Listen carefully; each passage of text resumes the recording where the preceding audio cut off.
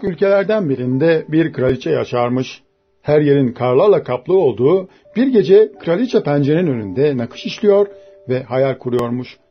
Birden eline iğnenin batmasıyla bembeyaz kumaşın üzerine birkaç damla kan akmış. Bir kızım olursa beyaz tenli, yanakları elma gibi kırmızı, saçları da kömür karası gibi simsiyah olsun demiş. Aradan aylar geçmiş. Kraliçe dünyaya bir kız çocuğu getirmiş. Kraliçenin dilekte bulunduğu gibi doğurduğu kız beyaz tenli, elma gibi kırmızı yanaklı ve simsiyah saçlı bir kız çocuğuymuş. Ona Pamuk Prenses adını vermişler. Fakat kraliçe doğum yaptıktan birkaç saat sonra vefat etmiş.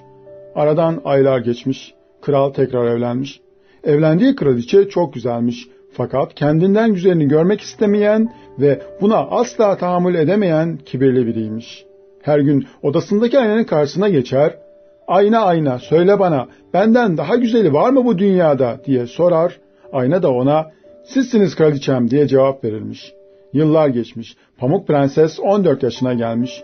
Kraliçe yine günlerden bir gün aynanın karşısına geçip Ayna ayna söyle bana benden daha güzeli var mı bu dünyada diye sorunca ayna kraliçeye kraliçem güzel olmasına güzelsiniz ama Pamuk Prenses sizden daha güzel diye cevap verince kraliçe öfkeden deliye dönmüş.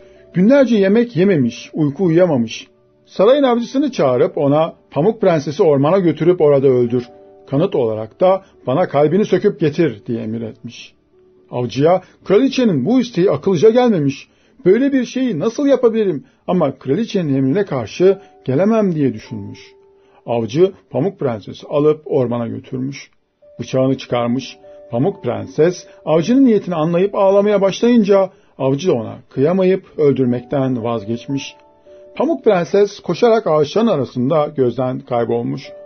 Avcı bir hayvan avlayarak onun kalbini sökmüş, kraliçeyi ancak böyle kandırabilirim diye düşünmüş.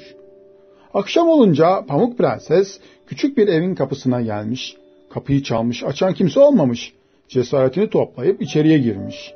Bir masa üzerine yenmeye hazır bir sürü yiyecek, yedi küçük tabak, yedi küçük sandalye, duvar dibinde de yedi tane yatak olduğunu görmüş. Beklemiş ama kimseler gelmemiş. Pamuk Prenses çok aç ve yorgun olduğu için yemeklerden yemiş ve yatarak uykuya dalmış. Birkaç saat sonra evin sahipleri gelmişler. Bunlar gümüş madeninde çalışan yedi tane cüceymiş. Cüce eve geldiğinde Pamuk Prenses'i görmüşler. Ne kadar güzel bir kız diyerek onu uyandırmaya kıyamamışlar. Sabah olduğunda Pamuk Prenses uyanıp da yedi cüceyi karşısında görünce çok korkmuş.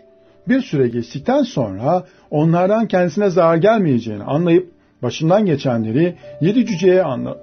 Yedi cüceler Pamuk Prenses'i çok sevmişler ve orada kalmasını rica etmişler.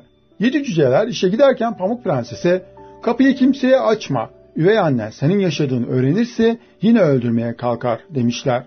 Kraliçe günlerden bir gün yine aynanın karşısına geçmiş. Ayna ayna söyle bana benden daha güzeli var mı bu dünyada diye sormuş.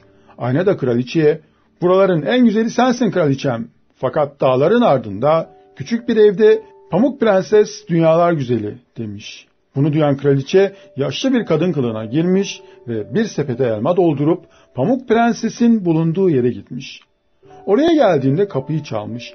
Pamuk Prenses içeriden seslenmiş. Yaşlı bir kadın çok yorulduğunu ve orada dinlenmek istediğini söyleyince iyi kalpli Pamuk Prenses kapıyı açmış. Kraliçe ona sepetteki elmalardan birini uzatmış. Pamuk Prenses zehirli elmayı ısırır ısırmaz elma boğazına takılmış ve olduğu yere düşmüş. Akşam olduğunda yedi cüceler eve geldiklerinde Pamuk Prenses'i uyandırmaya çalışmışlar ama bir türlü uyanmıyormuş. Pamuk Prenses'in başında günlerce ağlayıp durmuşlar. Pamuk Prenses'in öldüğünü düşünüyorlarmış ama onu gömmeye kıyamıyorlarmış. Ona camdan bir tabut yapıp yüksek bir tepeye koymuşlar. Günlerden bir gün bir prens, Pamuk Prenses'in olduğu yerden geçerken onu görmüş ve hemen aşık olmuş. Prens cücelere onu sarayıma götürmeme izin verin lütfen demiş. Cüceler prensesin bu isteğini kabul etmişler. Prensin uşakları tabutu yerinden oynattıklarında Pamuk Prenses'in boğazına takılan elma parçası ağzından düşüvermiş. Böylece kötü kalpli kraliçenin yaptığı büyü bozulmuş. Pamuk Prenses olanlardan habersiz ne olduğunu anlamaya çalışırken karşısında yakışıklı prensi görünce hemen ona aşık olmuş. Pamuk Prenses ve prens evlenmişler ve kötü kalpli kraliçeden çok uzak ülkelerden birinde çok mutlu bir hayat sürmüşler. Onlar ermiş muradına, biz çıkalım tahtına.